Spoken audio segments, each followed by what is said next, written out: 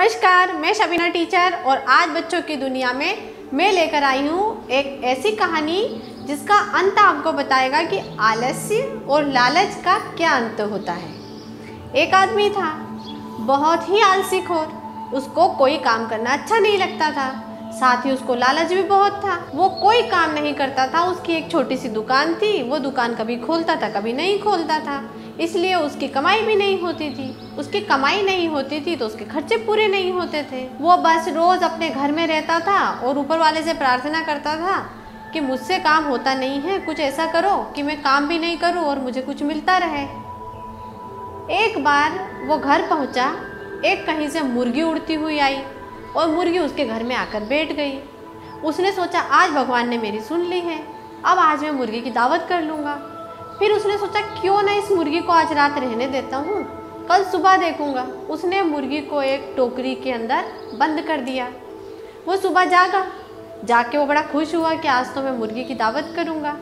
जैसे ही उसने टोकरी हटाई, उसने क्या देखा कि मुर्गी ने एक अंडा दिया था, जो कि सोने का था। वो बड़ा खुश हुआ। उसने लिया अंडा और सुनार के पास गया। उसको दिखवाया। सुनार ने कहा हाँ ये तो असली सोना है। अब नाई बड़ा खुश हुआ कि हाँ तो इसे कहते हैं भाग्य। भाग्य चलकर उसके घर तक आया था। क्यों? नाई का, उसका व्यक्ति का कोई काम उसको पसंद आया होगा। अब वो अपनी दुकान खोलता नहीं था, घर पर सारा दिन बैठा रहता था।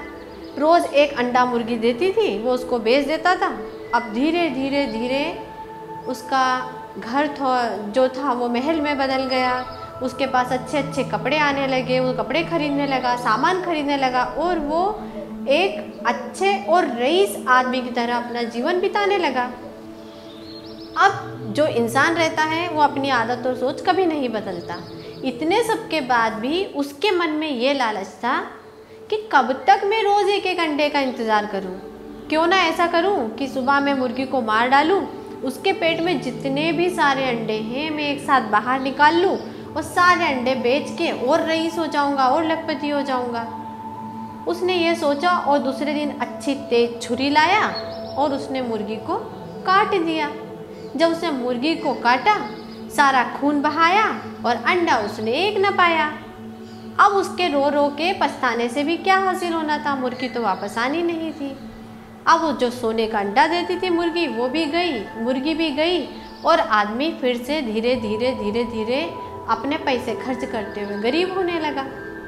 तो जो व्यक्ति आलस्य करता है और लालच करता है, उसका अंत ठीक इसी तरह होता है जिस तरह इस आदमी ने अपनी सोने का अंडा देने वाली मुर्गी को काट लिया।